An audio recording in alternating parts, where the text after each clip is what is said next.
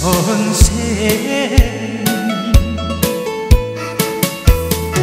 열아홉 살 선생 씨가 순전을 바쳐 사랑한 그 총각 선생님 서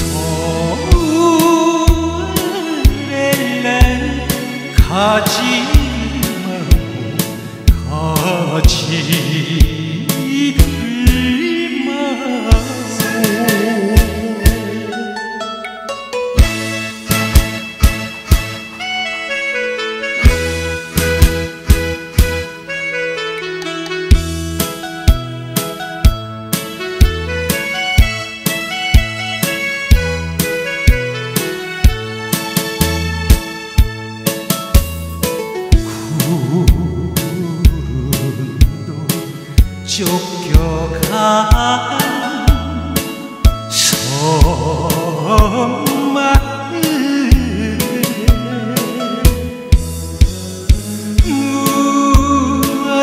무엇하러 왔는가 총각 선생